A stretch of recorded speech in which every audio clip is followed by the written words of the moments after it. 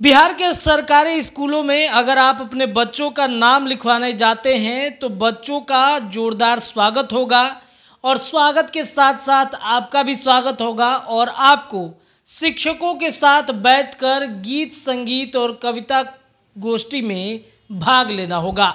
जी हाँ बिहार सरकार के तरफ़ से एक नया गाइडलाइन आया है, एक नई पहल जो है, उसकी शुरुआत की जा रही है कि बिहार के सरकारी विद्यालयों में अभिभावकों को, जो बच्चों के एडमिशन के लिए जाते हैं, उन अभिभावकों को शिक्षकों के साथ मिलकर गीत संगीत, कविता गोष्ठी और तमाम जो एक्टिविटी हो रही है, उसमें भाग लेना होगा। पूरी खबर क्या है? चलिए हम इस पर थोड़ा विस्तार से चर्चा कर लेते हैं कि सरकार की तरफ़ से क्या फरमान आया है। तो राज्य के इकहत्तर हज़ार सरकारी स्कूलों में नए एडमिशन लेने वाले बच्चों का स्वागत होगा। बच्चे कहानी और कविता सुनेंगे। 27 अप्रैल को कक्षा एक, कक्षा दो और कक्षा तीन के बच्चों के अभिभावक और शिक्षकों की संगीत गोष्ठी होगी। तीनों कक्षाओं के बच्चे अलग अलग थीम पर कार्यक्रम करेंगे। इन कक्षाओं के बच्चों के अभिभावक पढ़ाई और स्कूल के बेहतर के लिए सुझाव भी देंगे।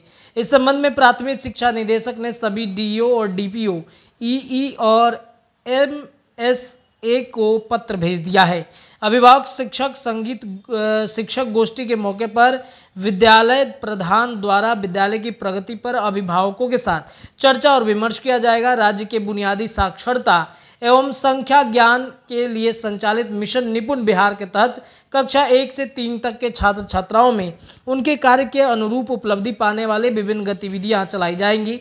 मिशन निपुण बिहार के तहत ही से अभिभावक, शिक्षक, संगोष्ठी आयोजित की गई है। कक्षा एक के बच्चे क्या करेंगे? तो नए एडमिशन लेने वाले बच्चे का स्वागत किया जाएगा। वैसे बच्चों का नामांकन, जिनका नामांकन नहीं हो सका है, विद्यालय के शिक्षक द्वारा एक के बच्चों के साथ चहक से संबंधित किसी एक गतिविधि को कराया जाएगा। यदि विद्यालय के पोषण क्षेत्र में संचालित आंगनबाड़ी केंद्र की सेविका उपलब्ध हो तो उनके माध्यम से इन बच्चों के साथ एक गतिविधि कराया जाएगा। बच्चों द्वारा पुराने बच्चे कविता पाठ के साथ शिक्षकों के निर्देशन में बच्चों कक्षा एक के बच्चों का स्वागत होगा। इन कक्षा के लिए कोई बच्चा अनामांकित रह गया है तो उसका नामांकन होगा। ये कक्षा दो के लिए। अब तीसरे कक्षा में पढ़ने वाले बच्चे क्या करेंगे? तो तीसरे कक्षा में पढ़ने वाले बच्चों द्वारा किसान भालू और आलू की कहानी सुनेंगे और पढ़ेंगे। संबंधित रोल प्ले भी करेंगे। कक्षा के लिए कोई बच्चा अनामांकित रहा तो नामांकित होगा। 20 अप्रैल तक शिक्षक, अभिभावक संगोष्ठी आयोजित करने की रणनीति का निर्धारण होगा। सभी प्रखंड शिक्षा पदाधिकारी अपने क्षेत्र के प्रधान अध्यापकों की बैठक 21 से 24 अप्रैल तक कर कार्यक्रम की जानकारी लेंगे। विद्यालय में उपलब्ध अनामांकित किट पुस्तकालय पुस्तकों को छात्र छात्राओं के उपयोग के लिए रखा जाएगा। विद्यालय को सजाने और निपुण अभियान, गीत, चहक आदि लाउड स्पीकर से सुनाया जाएगा। तो इस तरीके से बिहार सरकार बच्चों के मनोबल को बढ़ाने और सरकारी विद्यालयों में एडमिशन लेने वाले बच्चों की सुविधाओं में लगातार बढ़ोतरी कर रही है।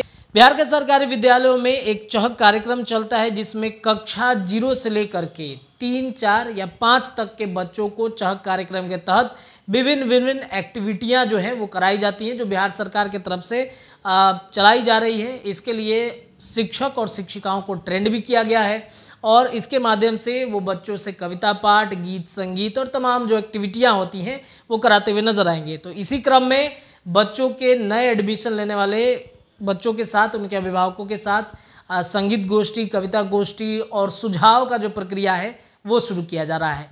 आपको क्या लगता है, ये सरकार के द्वारा चलाया जा रहा है कार्यक्रम कैसा है? अपनी राय कमेंट सेक्शन में रखिए। जुड़े रहिए हमारे चैनल द बिहार टॉप के साथ। बहुत बहुत धन्यवाद।